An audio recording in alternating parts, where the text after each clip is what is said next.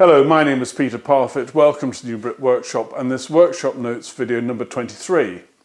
Now, there's a couple of things which I missed out in the last workshop notes video because I didn't want it to be too long. I'm picking them up this time.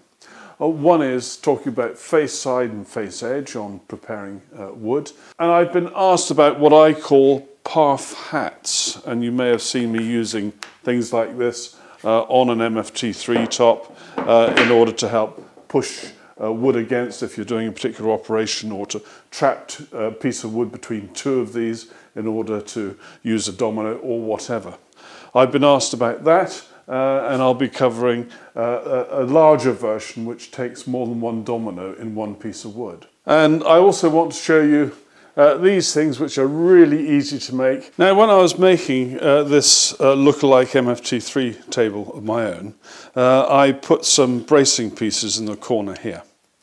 And I wanted to be able to uh, make sure they were firmly into the channel uh, which goes around the inside of this frame. And I didn't want to ruin the integrity of this corner. So I, I made up some blocks like this, very simply. And the process is extremely simple to do. You can then use a clamp at a corner like this to draw something like that in.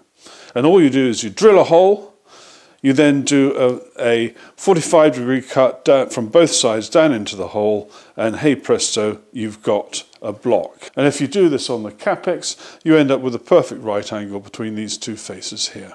And there's one other thing I'd like to show. These are the sort of regular size uh, versions. You can, if need be, make up uh, large ones. I made up this large one for a particular big bit of framing I was doing a little while ago.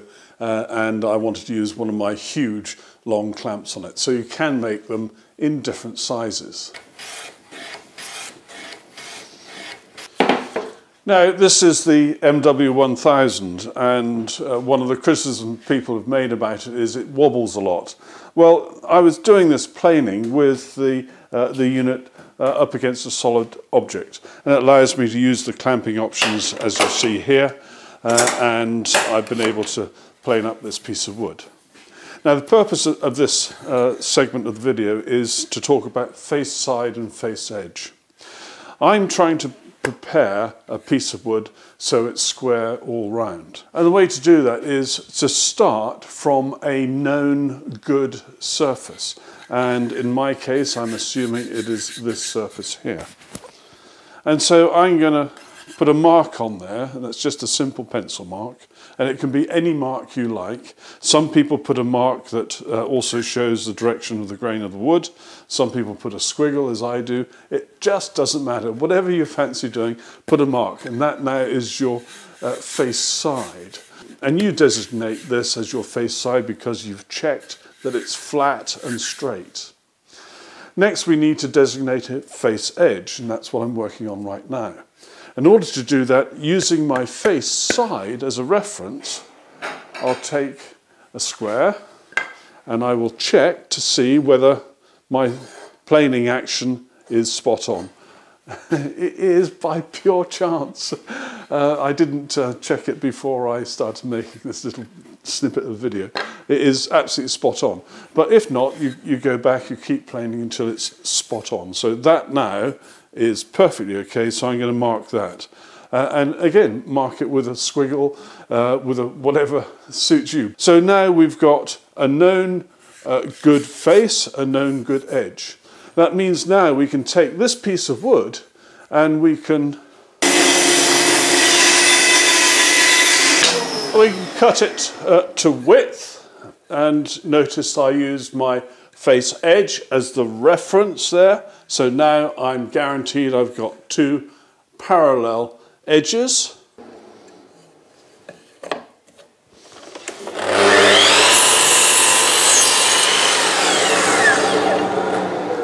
And using again that face edge, I can now cut nice square ends on my piece of wood.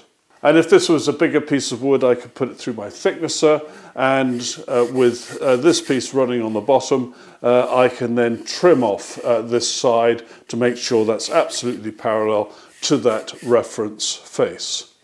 And that way we end up with a piece of wood which is square all round. And it may be that one of these ends you want to mark as a, a face end.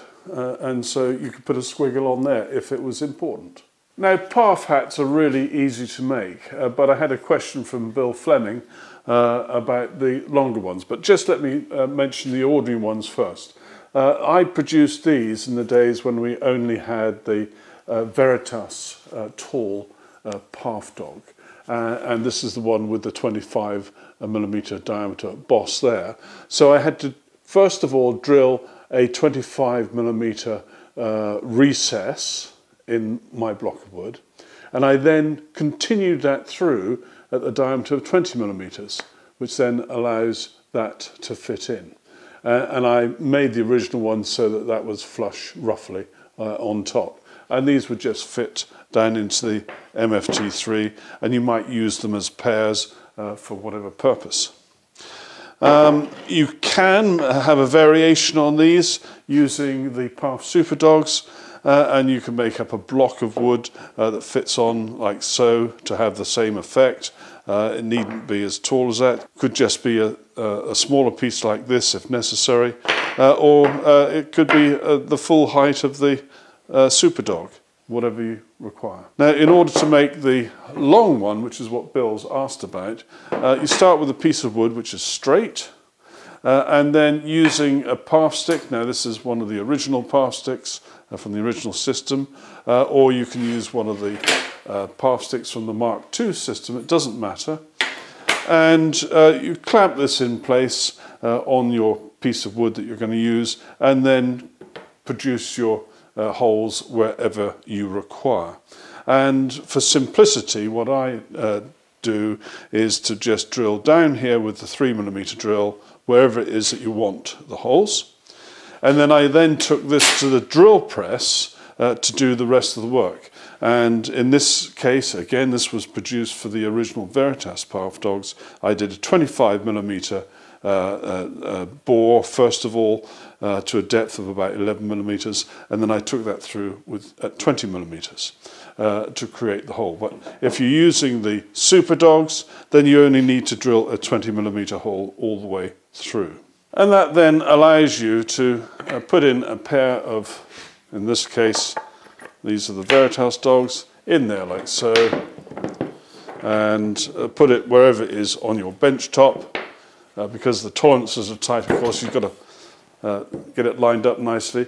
And now you've got a nice uh, long surface in order to push against, or you could make another one of these uh, which went this way, uh, and you might have the ability to have a, a right angle uh, piece on your bench for glue up purposes or whatever, or jig work. Now, I've been asked a number of times about how you go about to produce some offset holes on an MFT3 top or whatever it is uh, that's already been created and there are no more three millimeter holes left.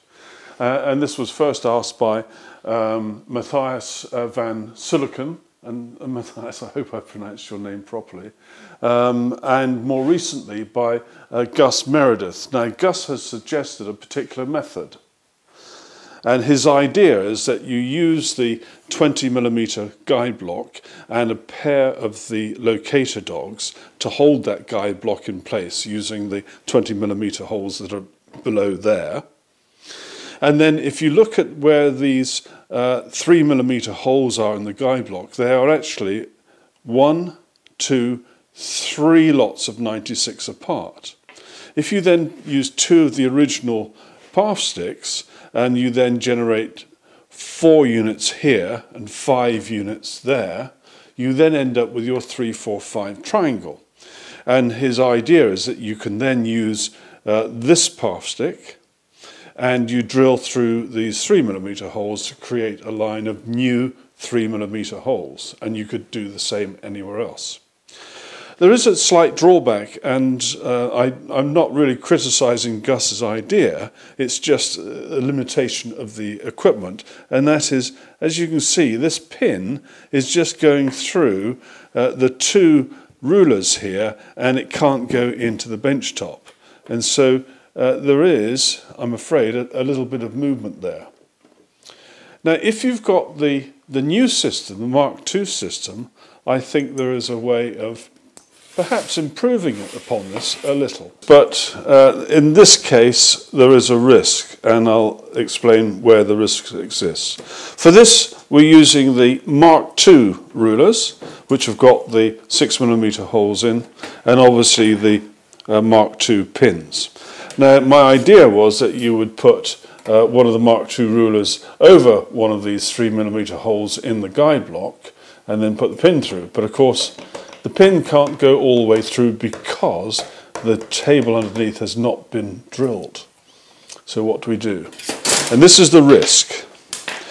You could take the three millimeter drill guide, which has got the, uh, the boss here, and that fits now into the recess on the Mark II 20 millimeter guide block. And then you drill through it. And the risk is that in drilling, you could damage the integrity uh, of these holes here. But if you're only doing it once, then perhaps it's worth the risk.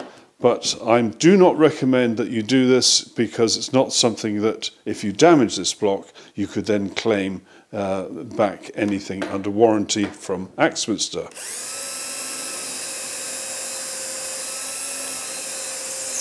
So I've, that hole doesn't need to go all the way through, it just needs to be deep enough so that these pins can go through. So there's one hole there and we're going to have one here.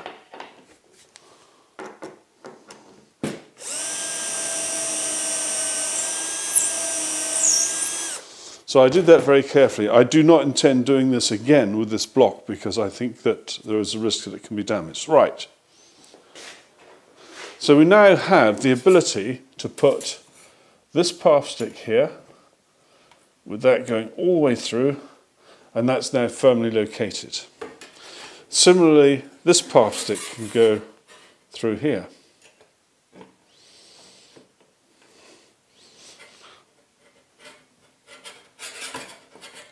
And that now is firmly located. Now I need to now do my 345 triangle and we've got, we know we've got one, two, three units here. So we want four this way, one, two, three, four, and five the other way. So our intersection is going to be here. We've got now got a choice of methods. With the, uh, the Mark II system, you get two of these three millimeter guide blocks, and one of them's got a, a rather uh, larger boss there, uh, which can go through two Parf sticks. So you could put it through two Parf sticks and then drill. Well, uh, I think that seems like a, a reasonable idea. Right, so I've now got that to go through both rulers. And now look, just see how rigid that is compared to the other method. I can't really move that at all. Now, my thought when I originally started to do this was that we would then uh, have the three millimeter drill going through here and through this. So I've now got the uh, the three millimeter drill goes through here, through my block of wood, and it's now touching the surface of the table. Uh, and meanwhile, my Parf sticks are really well held in place.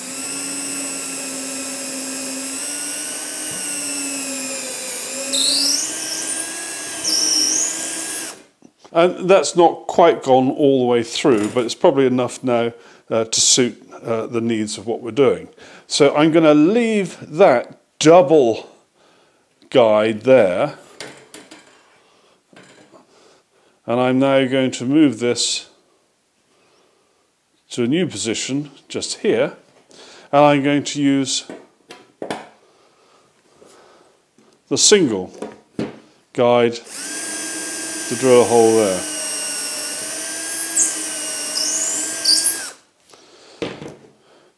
Now, as, as an alternative to using this, one could use the, uh, the little joining piece that comes with the Mark II kit.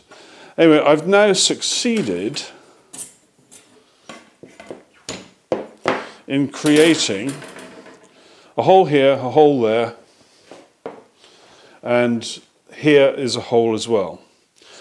Now, these holes do not go all the way through at this point, but they're not far from it. Now the next stage is to say, well, I've got to get this hole all the way through. Well, let's use the the drill guide to help us. Choose any hole in the Parf stick.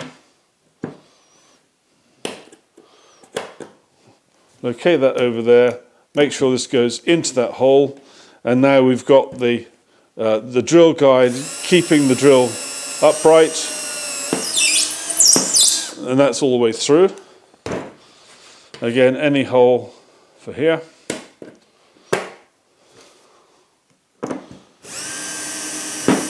That's all the way through. And then any hole to take it through here.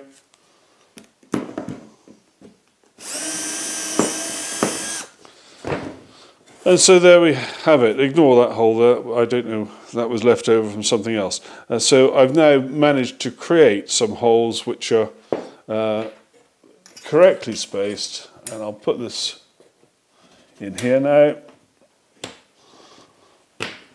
And I hope you can now see that I've put those pins in properly uh, and that uh, now is held really, really well. It means now I could drill uh, the rest of these holes.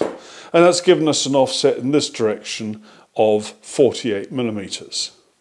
And we could do the same that way. So one could end up uh, making quite a reasonable effort at some offset holes from a table which has the holes already drilled, provided you've got the Mark II system. But of course, if you've got the Mark II system, you could have had offset holes drilled properly at the three millimeter hole stage had you done your planning.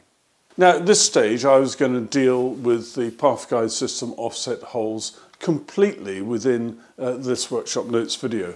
Uh, but actually I didn't want this workshop notes video to run into uh, such a huge length of time. Uh, and I do want to concentrate on that. So I'm now going to produce a separate video showing offset holes made at the very beginning as you're laying out the three millimeter hole pattern using the Mark II Parf guide system. So that will be a separate video which will follow this one. Many thanks for watching. Take care. Bye-bye.